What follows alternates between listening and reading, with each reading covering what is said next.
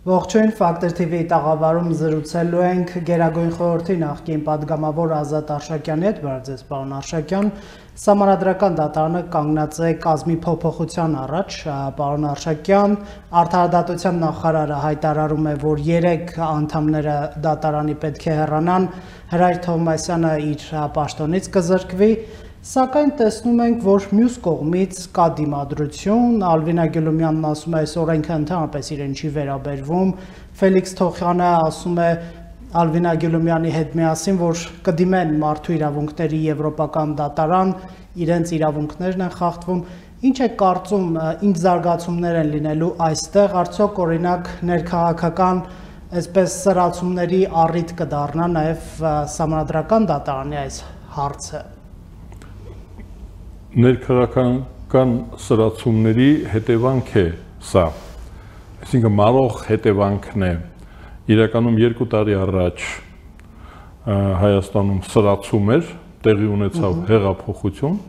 եւ հեղափոխության արդյունքում տապալվեց սահմանադրական կարգը եւ ժողովուրդը քաղաքացիները պաշտպանեցին տապալողներին, նրանց հայտարարեցին հեղափոխականներ եւ հաջորդ տարվա ընտրությունների ժամանակ, ազգային ժողովի ընտրությունների ժամանակ մեծ վստահություն տվեցին հեղափոխականներին։ Այսինքն, այսօրվա մեր ազգային ժողովը ստացել է քաղաքացիների վստահության քվեն եւ ինքը նաեւ հեղափոխական կոմիտե է Այսինքն նրա բոլոր ակցիաները եւ սանկցիաները օրինական են։ Օրենքը հենց այնտեղից է գալիս։ Օրենքը գալիս է ոչ թե տապալված սահմանադրությունից եւ սահմանադրական դատարանից, այլ գալիս է հենց ազգային ժողովից։ Ազգային ժողովը ինքը մեծամասնության մասին է խոսքը։ Հիմա այս մարդիկ չեն ենթարկվում, պարոն Աշակյան։ Չգիտեն, որ հեղափոխություն է տեղի ունեցել եւ այդ հեղափոխության ժամանակ իրենց մերժել են։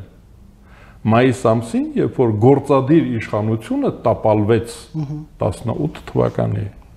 2018 թվականին տապալվեց գործադիր իշխանությունը։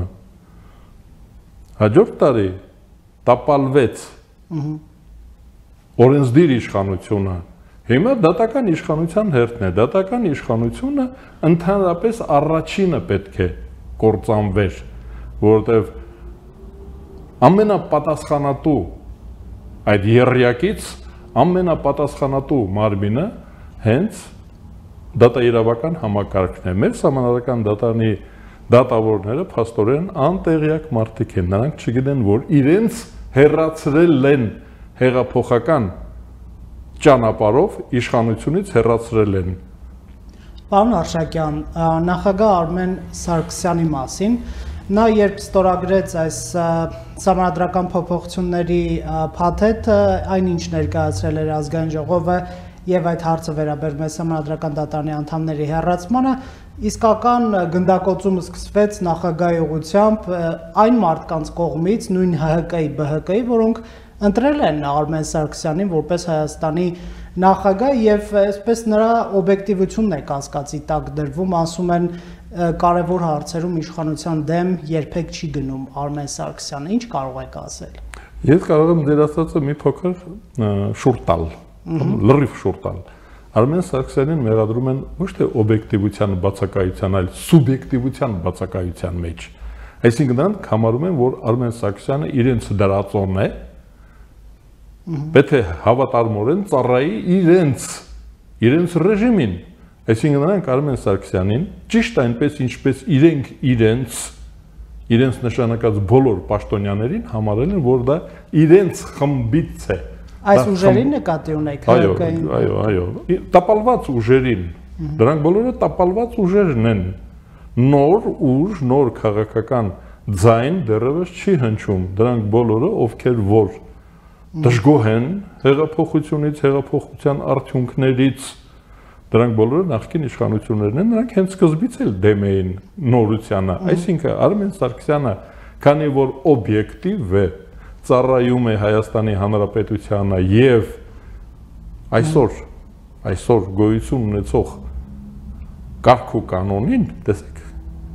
կարգ ու կանոնին այսօրվա դա օբյեկտիվ վարկագիծ է։ Հիմա նրա իշխանությանը, այսինքն գործադիր իշխանության երբեք դեմ չի գնում, նույն կառավարության նախագծերին, ազգային ժողովին չնայած եղել են հարցեր, օրինակ բանկային օրենքի մասին նախագիծը համանդրական դատարան ուղարկվեց, այնտեղ ոչ համանդրական ճանաչվեց, նկատի ունեմ, որ ասում են կարևորագույն հարցերում գործադիր իշխանության դեմ չեք գնում, պարոն նախագահ։ Գործադիր իշխանության մի մասն է, նա թիմակից է։ Արմեն Սարգսյանը հիմա հեղափոխության թիմակիցն է։ Եթե դեմ է ինչ որ հարցում, ըստ երևույթին աշխատանքային կարգով դա լուծվում է։ Ճիշտ այնպես, ինչպես Արարատ Միրզոյանը մի քանի օր առաջ հայտարարեց, որ աշխատանքային կարգով համանդրական այդ բարեփոխումների մասին օրենքը քննարկել են նախագահի աշխատակազմի եւ անձամբ նախագահի հետ։ Այսինքն գոյություն ունեն աշխատանքային հարաբերություններ, գործընկերային հարաբերություններ եւ այդ գործընկերային հարաբերությունները չեն դառնում բախում։ Այսինքն նրանք համաձայնության գալիս են, զիջումներ են լինում, համոզվել է լինում, ընդունել եւ այլն։ Ուզում եմ ասել, որ Արմեն Սարգսյանը պետությանն է ծառայում, նա չի ծառայում որևէ խմբի, առավելևս որևէ կուսակցության։ Դրա համար, եթե կոնֆլիկտ առաջանա, եթե այսօրվա գործադիր իշխանությունը կոպիտ սխալներ թույլ տա, իհարկե Արմեն Սարգսյանը իր խոսքը կասի, ինքը կդիրքովորվի եւ մենք իմանանք ինչու՞մն է բանը, բայց հենց այնպես ասենք, որ եթե գործադիրի ինչ որ բան եղարկում նախագահը պետք է ընդդիմանա, այլախոհ լինի, դիսիդենտ լինի, կամ ասենք դիստրուկտիվ, որ ասում են ապակառուցողական դիրքորոշում ընդհակառակա։ Սահմանադրությունը շատ տկար ձևով, բայց ենթադրում էր, որ նա պետք է լինի փոխզիջումների ընդհանրապես հաշտեցման, խաղաղեցման անձնավորությունը հատուկ ընտրվել է իմիջիալոց անձնավորությունը հատուկ է ընտրվել Արմեն Սարգսյանին ընտրել են որպես բարեկիրթ հայ մտավորական եւ նա բոլորիս համար ընդունելի է այնպես որ ես չեմ կարծում թե պարտադիր է կոնֆլիկտը Շատ լավ, պարոն Արշակյան, համադրական դատարանում հուլիսի 7-ին Ռոբերտ Քոչարյանի գործով շատ կարևոր, այսպես որոշում է հրապարակելու, եթե հակասահմանադրական է ճանաչվում Քոչարյանին առաջադրված մեղադրանքը ընդհանրապես դատարանում քննվող գործը հիմա կփակվի եւ այսպես ազատ մարդու կարգավիճակով կարող է շրջել, չնայած կա եւս կոռուպցիոն այսպես մեղադրանք Քոչարյանին, նրա պաշտպանները դիմել են համանդրական դատարան, որ เป զի ավելի վաղ, քան հուլիսի 7-ն է, նիստ նշանակվի։ Ձեր կարծիքով ինչու են շտապում Ռոբերտ Քոչարյանի պաշտպանները։ Չեմ ուզում, որ Ռոբերտ Քոչարյանը պատասխանատվության ենթարկվի։ Ընթակառակը նրանք ուզում են, որ մեղադրողները պատասխանատվության ենթարկվեն։ Դա իրենց գործն է, պաշտպանների մասին հանենք, պաշտպաներ չէ։ Քոչարյանը ինչ է ուզում։ Քոչարյանը ուզում է, որ ինքը պատասխանատվության չենթարկվի։ Ուրեմն դրա համար հնարանքներ է կիրառում եւ ունի գործընկերներ, դաշնակիցներ, այդ գործընկերները համանդրական դատարանում, ազգային ժողովում հիմա մենք արդեն գիտենք, որ գործադիրում են եղել այդպիսիները, կարող է հիմա էլ կան, նրանք դավադրորեն, որպես դավադիրներ, խոսքս պաշտպանների մասին չի, դա իրենց գործն է։ Մյուսները, ովքեր որ փաստաբանը չեն, պաշտպանը չեն, օրենքով սահմանված կարգով Ռոբերտ Քոչարյանին պաշտպանում են, դրանք դավադիրներ են, դա դավադրություն է։ Ուրեմն Ռոբերտ Քոչարյանը եթե քաղաքական նպատակահարմարություն լինի եւ քաղաքական իշխանությունը թույլ տա ես ասացի որ քաղաքական իշխանությունը հեղափոխական կոմիտե է նաեւ դեռևս Հայաստանում դատաիրավական համակարգը չի բարեփոխվել, քանի դեռ չի բարեփոխվել ազգային ժողովը հեղափոխական կոմիտե։ Եթե հեղափոխական կոմիտեն իդեմս ազգային ժողովի եւ կառավարության թույլ տան, որ Ռոբերտ Քոչարյանը պատասխանատվությունից ազատվի, դա ուրեմն պետք է լինի լուրջ քաղաքական նպատակահարմարություն, ու մեզ պետք է անպայման բացատրեն։ Մենք պետք է իմանանք դա ինչ նպատակահարմարություն է, ինչ ինչ է դա փոխում Այսինքն միայն ինքն է ազատվում պատասխանատվությունից, թե օրինակ մենք էլ կարող ենք հիմա ազատվել մեր արարքների հետևանքներից, ինչ որ ուզենանք անենք։ Այսինքն պետք է իմանանք ովքեր են եւ ինչ պատճառով են արտոնություն ստանում։ Հիմա Ռոբերտ Քոչարյանին կողմնակիցները ուզում են արտոնություն տալ։ Հարմար է Ալիևի պարտկոմը պետք է այստեղ արտոնյալ լինի։ Ես դա չեմ հասկանում։ Ինչի պետք է Ալիևի վստահված մարդը Հայաստանում արտոնություններ ունենա։ Փորձենք հասկանալ նույն երկրորդ նախագահի եւ ինչու ոչ Սերժ Սարգսյանի քաղաքական ապագա ծրագրերը, որովհետեւ նրանք հանդիպել են Ռոբերտ Քոչարյանը, Սերժ Սարգսյանը այն բանից հետո, երբ երկրորդ նախագահը հայտնվել է ազատության մեջ, Ինչ է կարծում իշխանությունների հերացման հայտարարությունների ֆոնին, երբ ՀՀԿ-ն գրեթե ամեն օր այդպիսի հայտարարություններ է անում, այլ քաղաքական ուժեր եւս ընդդիմության դաշտից կարող են երկրորդ եւ երրորդ նախագահները ինչ որ գործողությունների գնալ, հատկապես այն պարագայում, պարոն Արշակյան, երբ նրանց կողմնակիցների, թիմակիցների շրջանակներում այսպես քրեական գործերի տարափ է ուղղակի այդ մարդկանց կողմ ուղված եւ այսպես փրկվելու նաեւ խնդիր կա։ Առաջինը անհամարժեքությունն է։ Նրանք չեն հասկանում ինչ են անում, ճիշտ չեն գնահատում։ Եթե ճիշտ գնահատեին, այսօրը ճիշտ գնահատեին, երեքն էլ ճիշտ կգնահատեին ու այս կարգավիճակը չէին ունենա։ Դրանք ընդհանրապես համարժեք չեն գնահատում կյանքը առաջի հանգամանք։ Երկրորդ հանգամանքը դա Նաև որ նրանք հույս ունեն, որ Հայաստանը կոկուպացվի։ Մեծ աղետ տեղի կունենա եւ Հայաստանի քաղաքացիները կպարտվեն։ Հայաստանը կպարտվի։ Ես ասում եմ, այ իրենց հույսը նա է, որ Հայաստանը ծնկի կգա եւ իրենք կարթարանան հետ կգան կամ եթե հետ չեն գա նվազագույնը ըստ երևույթին նա է, որ իրենք հետ չեն գա, իրենց ուզած ռեժիմը կսահմանվի Հայաստանում եւ իրենք կշարունակեն ապրել իրենց կյանքով։ Այսինքն պայմանը հույսը դա է, որ հայկական պետությունը ծնկի կգա, որովհետեւ եթե այլ բան լինի, քան թե հիմա է, այսինքն պատասխանատվությունը հանցավոր ռեժիմի, քրեոլիգարխիկ համակարգի, կոռուպցիոն ռեժիմի, ընտրակեղծարարների, զավթիչների ռեժիմը, եթե արդարացվում է, պարտվում է Հայաստանի Հանրապետության քաղաքացին եւ հետեւաբար այն տեսակարար քշիրը, որ ունեն հեղափոխության կողմնակիցները, օրինակ ազգային ժողովի ընտրությունների արդյունքում 3/5-րդը, հա? 3/5-րդը, եթե ընտրողների պարտվում է, դա Հայաստանի Հանրապետության լիկվիդացիան է նշանակում։ Հայկական պետությունը կործանվում է։ Այդպես կլինի, թե չէ։ 100 տարի առաջ եղել է 100 100-ամյակն է 20 թվականին, այ հունիս ամսին արշավը սկսվեց, ռուս-թուրքական արշավ սկսվեց Հայաստանի Հանրապետության դեմ, որը ավարտվեց Հայաստանի կործանումով, հայկական պետության կործանումով եւ սովետական կարգեր հաստատվեցին, տարածքները խլեցին, մի մասը մնաց Ադրբեջանին, մի մասը Թուրքիային, մի մասը Վրաստանին։ Հետաքրքիր է այսօր ռուսական այդպիսի պլաններ կան Հայաստանում, ինչ որ 20 թվականին նույն ձեր վերած, գիտենք օրինակ Գագիկ Ծառուկյանը, Արթուր Վանեցյանը այսպես իշխանության փոփոխության հարց են դնում, ասում են համարադրական կարգը պետք է վերականգնենք տապալված կարգը եւ դրա դա անել նրանց չի խանգարում կորոնավիրուսի համաճարակը, երբ իշխանությունը զբաղված է այդ վարակը այսպես մարելով ինչ է կարծում պատերազմի ժամանակ գերագույն գլխավոր հրամանատարի հրաժարականը կարելի է պահանջել թե ոչ? Երկու պատասխան նախ իհարկե չի կարելի աղետի ժամանակ զինադադար է քաղաքացիական զինադադար է հայտարարվում որովհետև երկիրը գեր լարված վիճակում պետք է հաղթահարի այդ թվում եւ ադմինիստրացիան պետք է հաղթահարի աղետը, որը հայկական չի, գլոբալ աղետ է։ Միավորված ազգերի կազմակերպության կողմից ճանաչված։ Այսինքն աշխարհի կողմից ճանաչված աղետ է, այսինքն Հայաստանի Հանրապետությունը ենթարկվել է կենսաբանական գրոհի։ Բնական կենսաբանական գրոհի ենք մենք ենթարկվել, որը մեր բոլոր ուժերը պետք է կենտրոնանան դա հաղթահարելուն, այդ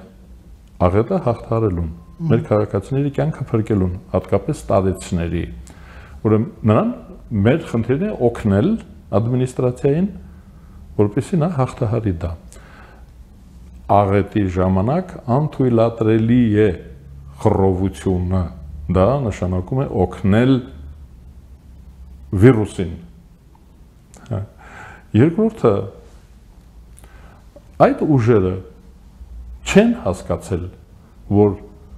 հեղափոխությունը պատահաբար չի եղել շատ համբերատար հայ ժողովուրդը հայ ժողովրդի համբերությունը սպառվել էր ու հեղափոխություն է եղել հիմա այս իշխանությանը հետ կանչել նշանակում է հետ կանչել հեղափոխությունը Հեղափոխությունը հետ կանչելու համար հարկավոր է ունենալ ավելի շատ ձայն, ավելի մեծ ազդեցություն, ավելի լավ ծրագրեր, ավելի լավ գաղափարներ, քան թե ունի այսօրվա հեղափոխությունը։ Եվ ավելի լավ ժողովուրդ, քան թե հայ ժողովուրդն է։ Ուրեմն հարկավոր է բերել այդ ժողովրդին Հայաստան, մեզ արտաքսել Հայաստանից կամ գենոցիդի ենթարկել, ինչպես արվել է 100 տարի առաջ, ու իրենց ծրագիրը կիրականանան։ Պարտվածների նկատմամբ Թավիշը տվել է իր արդյունքը։ Նրանք չեն հասկացել, որ իրենք պարտվել են, շատ մեղմ էր։ Իսկ արտաքին ներգործության տարեր դուք տեսնում եք այս ամենում։ Այո, նրանք կարծում են, թե կկրկնվի։ Նրանք դրա վրա է նրանց հույսը, որ կրկնվելու է Հայաստանը կկործանվի, կօկուպացվի։ Այդ դեպքում իրենք կգան հետ իշխանության։ Այսինքն, երբ որ խոսում են համանդրական կարգը վերականգնելու մասին, նրանք խոսում են հեղափոխությունը չեղյալ համարելու մասին։ Հեղափոխությունը չի կարող չեղյալ համարվել։ Արդեն հեղափոխությունը եղել է։ Եվ սահմանադրությունը արդեն կորցրել է իր արժեքը, որովհետև չի ապահովել Հայաստանում ժողովրդավարական խաղաղ իշխանափոխություն։ Վանեցյան Ծառուկյան այս հույդա մերձեցումից ինչ սпасել, երեք էլ հանդիպում է տեղի ունեցել այս երեք ուժերի միջև եւ նույն օրակարգը ինչ որ բերեցինք։ Մենք պետք է հիմա նախ իմանանք, արդյոք պարոն Վանեցյանը, գեներալ Վանեցյանը եւ դաշնակցությունը նույնպես ղազագիր գրել են Ծառուկյանի համար որովհետև նրա հետ համագործակցել Ծառուկյանի հետ կամ հուշագիր պետք է լինի, ինչպես անում էր հանրապետականը, ինչպես արեց իմ քայլը ու հետո բամփեցին կամ ղազագիր են գրում, ինչպես իրենց կուսակցականներն են։ Ուրեմն իսկ ղազագիրը իրավական դրանց մեջ իրավաբաններ կան։ Տրաֆիկինգ է նշանակում։ Այսինքն մարդիկ կամավոր հրաժարվում են իրենց ազատությունից Դա մարմնավաճառության գլխավոր պայմանն է։ Այսինքն ես չեմ հավատում, որ գեներալ Վանեցյանը քաղաքական մարմնավաճառության պակտի է մասնակցում կամ դաշնակցությունը։ Ես չեմ հավատում, որ նրանց Իսկ ինչպես հասկանալ այս մերձեցումը, եթե չեն մասնակցում ձեր խոսքերը։ Այ ես կարծում եմ, որ շատ ժամանակավոր մի բան է, սրանք կոնսուլտացիաներ են, տեղի չի ունենա։ Այդ երկուսը Վանեցյանը եւ Հավանեցյանի հայրենիքը։ Ահա։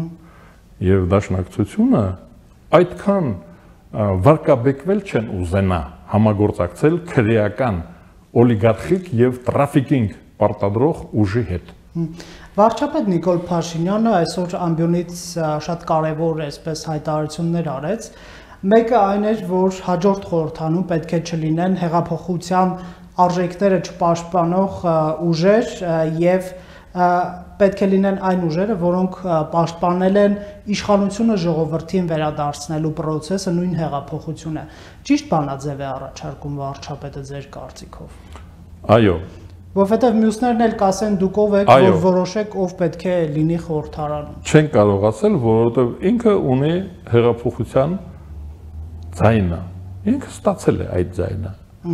3-5-րդը ազգային ժողովի իր ձայնն է, այսինքն քաղաքացիները վստահում են։ Իր իր խոսքը դա քաղաքացիների խոսքն է, երես փոխանն է նա։ Այդպես ասենք, հա, արևմտահայերեն։ Նա փոխարինում է մեզ։ Մենք նրան այդ իրավունքը տվել ենք եւ ես կարծում եմ, որ ուղղակի ուշացած է ասում։ ուշացած էր։ Հիմա դրա փոխարեն պարոն Փաշինյանը, մեր հարգելի վարչապետը պետք է սեղանին դներ ընտրությունների մասին նոր օրենքը, ասել այս օրենքով կուսակցությունների մասին նոր օրենք։ Այո, այո, այ դրանք պետք է դնել սեղանին, ասել այս փաստաթղթով ոչ թե իմ կամքով։ Իր կամքը կարևոր է, որովհետև մենք ենք իրեն լիազորել այդպես ասելը։ Բայց իր կամքով չեք ասել, այս օրենքները զտիչ են։ Այս օրենքներով անցկացվող հաջորդ ընտրություններում չի կարող որևէ քրեա օլիգարխիկ ժողովրդի ձայնը չստացած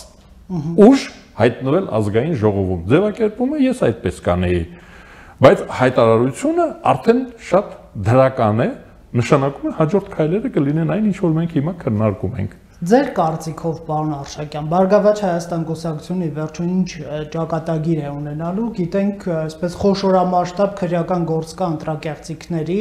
վարչապետ Նիկոլ Փաշինյանը այսօր ասաց խորհրդարան պետք է չլինի այնպիսի ուժ, որը ժողովրդի աչքերին նայելով ստում է, նույն ԲՀԿ-ի օրինակը բերեց, երբ հայտարարում են, որ իրենք ընտրակաշառք չեն բաժանել կամ չկան այդպիսի փաստեր, Վարչապետն ասաց կա Հայաստանում մեկը, որ կասկածում է, որ եղել է, հա, ԲՀԿ-ի կողմից նույն ընտրակաշառք բաժանելը։ Ինչ է կարծում այս կուսակցության ճակատագրի մասով։ Օրենքով լուծարել, օրենքով լուծարել այն փաստ ղազագրեր են ասում հիմա դրանց հավատարմության, հա, հավատարմության երթման փաստաթղթերը արդարադատության նախարարությանը հիմք են տալիս կուսակցության գործունեությունը կասեցնել որովհետև բացառված է, որ կանոնադրության մեջ կուսակցության գրված լինի այդ գազագրերի մասին։ Չի կարող պատահի որ լինի, դա օրենքը արգելում է։ Անձնական հավատարմություն դա բացառված է։ Դա միայն եկեղեցում դերես հիշում եք եկեղեցում ամուսնության արարողության ժամանակ են այդպիսի հավատարմության երթումներ տալիս երիտասարդները։ Ուրեմն քանի որ քաղաքական Ահա, չէ, տեսեք, մենք տրաֆիկինգին եկանք։ Սա մարմնավաճառություն է, մարմնավաճառները եկեղեցի չեն գնում, եկեղեցում այդ արարողությանը չեն մասնակցում։ Ուրեմն ես կարծում եմ, որ քաղաքական մարմնավաճառությունը Հայաստանում պետք է արգելվի օրենքով։ Օրենքով պետք է կուսակցությունը որպես այդ փաստաթղթերի հիման վրա պետք է կասեցվի նրա գործունեությունը շատ արագ ընդունվեն մեր արդեն թվարկած օրենքները կուսակցությունների մասին, ընտրությունների մասին, իհարկե սահմանադրությունը անպայման, որովհետև իդեպ ընտրությունների մասին օրենքը կարծում սահմանադրական օրենք է։ Ուրեմն շտաբ կարգով այդ երեք օրենքները պետք է ընդունվեն, դա հեղափոխական կոմիտեի գերխնդիրն է։ Ում օրենքով արդեն ընտրվի նոր ազգային ժողով, որտեղ չեն լինի քաղաքական մնավաճառներ։ Պարոն Արժակյան, վարչապետը նաև Սերժ Սարգսյանի ընտանիքին այսպես մեղադրեց ընտրակեղծարարության համակարգ ստեղծելու ղեկավարելու մեջ, բայց ինչ ենք տեսնում, որ նույն Սերժ Սարգսյանը այսօր ազատության մեջ է, իսկ վարչապետը հայտարարում է, որ նրա ընտանիքը ղեկավարել է այդպիսի համակարգ։ Հանրապետական կուսակցությունը առոք-փառոք թավիշն է վայելում եւ այսպես հիմնական դեմքերը շատ ազատորեն հայտնվում են եթերներում, ամեն տեղ կան, այս իշխանությանը ինչի մեջ ասես չեն մեղադրում։ Ինչ է կարծում, ինչու ի վերջո ունենք այս իրավիճակը, երբ հնչում են մեղադրանքներ, երբ նույն ՀՀԿ եւ Սերժ Սարգսյանի մասով եւ process-ներ ուղակի չկան նույն ընտրակեղծարարության մասով։ Գիտեք, երբ համեմատում են օրինակ Բարգավաճ Հայաստանը եւ Հանրապետական կուսակցությունը, դրանց մեջ հսկայական տարբերություն կա Հանրապետական կուսակցությունը քաղաքական կուսակցություն էր։ Նրա մեջ կար ստվեր։ Հանրապետականները ունեին ստվեր։ Ստվերային հարաբերություններ կային եւ եւ կոռուպցիա եւ օլիգարխիա եւ այլն կային եւ ընտրակեղծարարություն, բայց դա ստվերն էր։ Դա իրենց նպատակը չի եղել, այսինքն նա քաղաքական գործունեությամբ է զբաղվել, ունեցել է սխալներ, թերություններ եւ այլն։ Այսինքն այստեղ պետք է լուրջ զտում տեղի ունենա, բաժանել է պետք քաղաքական առանձին քրեականը առանձնացնել ու հիմա նաև չափազանց կարևոր բան է որ թավշա հեղափոխության մյուս կողմը եղել է հանրապետական կուսակցությունը այսինքն միայն հեղափոխականները չէին թավիշ միայն մարադիորություն ջարդ, փշուր, սպանություններ միայն հեղափոխականները չէին, որ չէին անում, նաև հանրապետական կուսակցությունը չգնաց բռնության չգնաց դրան օրինակ գործադիր Կար բայց այդ ծավալները չէր ինչ օրինակ մարտի 1 Չէ, հա, հասկանալի է։ Իհարկե մարտի 1 մենք արդեն ունենք հոկտեմբերի 27, մարտի 1 100-ամյակը եթե հետ գնանք մայիսյան, ապստամբությունը բոլշևիկների, բայլշևիկների, ուզում ասել որ դա նույնպես գնահատելու բան է, որ մարդիկ հանձնեցին եւ գործադիրը եւ օրենսդիրը հանձնեցին հանրապետականները։ Հիմա իդեպ շատ ավելի ագրեսիվ, շատ ավելի ակտիվ ոչ հանրապետական քրեա օլիգարխներն են ու կոռուպցիաներները։ Այդ իմաստով Սերժ Սարգսյանի ընտանիք երբ ասում ենք, դա քաղաքական իրավական տերմին չի։ Սերժ Սարգսյան առանձին իր ընտանիքի անդամները առանձին օրինակ եղբոր զավակները կամ եղբայրները Փեսան եւ այլն, դրանք բոլորը առանձին առանձին պետք է պատասխանատվության ենթարկվել եւ ողջվի նրանք ինչ չափով են մեղավոր։ Այսինքն Իդեպ Փեսայի մասին ներեցեք առանց Փեսայի չի լինում։ Փեսայի մասին էլ վարչապետը այսօր խոսեց եւ այո, ասաց խոհանոցային բլոգեր դարձած Միքայել Մինասյանի մասին, ասաց որ ինչու դու դուրս չես գալիս այդ քո կուխնյայից եւ չես գալիս օրինակ իրավապահների հարցերին պատասխանում այն դեպքում երբ ինքդ ես մարդկանց կոչանում դուրս գալ սոցցանցերից համախմբվել իշխանության դեմ եւ այլն ինչ է կարծում Միքայել Մինասյանը կգա մի օր որ կգա եւ իրավապահների սովորական հարցերին կպատասխանի նույն զորահեկի հարցով նույն չգիտեմ այլ խոշոր հյուրանոցներ ունենալու ինչպես է հաջողացրել այդքան հարստություններ կուտակել լինելով պետական պաշտոնյա, լինելով դեսպան։ Նիկոլ Փաշինյանը ասում է՝ «Արա ինձպես»։ Նիկոլ Փաշինյանը միշտ ասել է իմ հետևից ինքը ինչ որ արել է, մյուսներին էլ իր ընկերներին ասում էր միասին քայլենք։ Ինքը չէր ասում դուք քայլեք, ես կգամ։ Տանը կսպասեմ ձեզ քայլում էր երթերին, ցույցերին, բախումներին Նիկոլ Փաշինյանը անձամբ մասնակցել է ազատազրկման ինքն է գնացել ուրիշի չի ուղարկել դա մի ձև է կամ մի ձևը որ ասում են ռուսերեն ասում են պիրոտ դու գնացեք ես կգամ մեր մոտ էլ մեկնացած ես գնում եմ 20 րոպեից եթե չեկա եկեք հիմա ուզում ասել մենք ունենք ընտրելու հնարավորություն Միքայել Մինասյանը այդ ճանապարհն է ընտրել ասում է դուք դուրս եկեք եւ լավ կլինի ձեզ հետ վերցնեք արծաթե սկուտեղ, որի վրա ինձ նորից կմատուցեք իմ նախորդ ժամանակների ապահով կյանքը։ Բայց հաթաթաներ է տալիս նաև այսպես իշխանությունը։ Ինքը իշխանությանը հաթաթա է տալիս, բնական է, նա իշխանության հետ համաձայն չի իշխանապողության հետ համաձայն չի։ Իր կարգավիճակի հետ համաձայն չի, Նիկոլ Փաշինյանի կարգավիճակի հետ համաձայն չի, բայց յուրայինեն ասում է գնացեք հաղթեք եւ բերեք ինձ մատուցեք հաղթանակը։ Ես բունկերում կսպասեմ ձեզ։ Շնորհակալություն մեր հարցերին պատասխանելու համար։ Factor TV-ի տաղավարում զրուցում են Գերագույն խորհրդի նախկին падգամավոր Ազատ Արշակյանի հետ։